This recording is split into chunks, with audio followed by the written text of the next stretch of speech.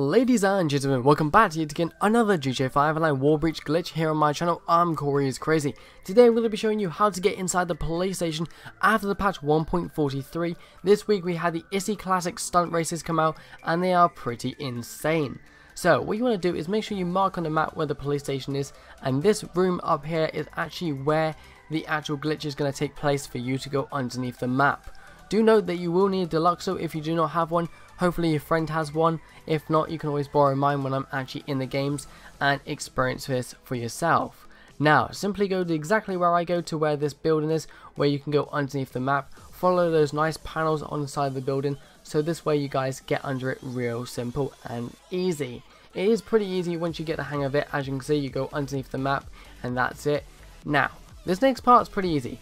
Figure out your own way to go to the police station. It doesn't matter which way you go, but just do note one thing.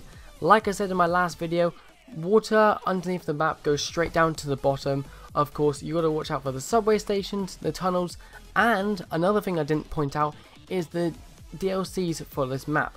There are lots of interiors and other props that they put underneath the map. New DLCs and old DLCs. You'll find trees and all sorts underneath the map, which is very strange. Watch out for them because if your car hits them, sometimes it can make you glitch out and you'll just completely exit the glitch and you have to do the entire thing over again, which is a little bit of a downside. Now, in this video, I'm not going to show you the entire interior of the police station because I want you guys to experience it for yourself and I don't want to show you the entire thing so you get, it ruins it for you. Now, coming up to the police station, as you can see, you'll start to see some of the interior underneath the map. That is something good to actually see what you want to do is fly underneath the map and of course go to the far back of the police station. Now you can see some stairs on the right hand side just where I am right now, that tells you that is near the prison area. What you want to do is fly up until your car glitches out like mine does. This tells that you that you have landed on a hard surface inside the room. Then what you want to do is simply exit your vehicle, you'll see there's no interior and simply go into first person.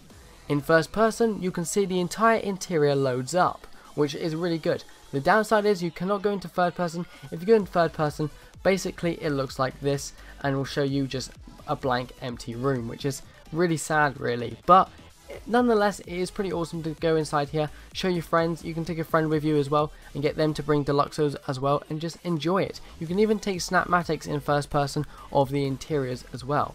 As always, hit that like button, subscribe and turn post notifications on so you never miss a video or a live stream every Tuesday when I'm live streaming GTA 5 online.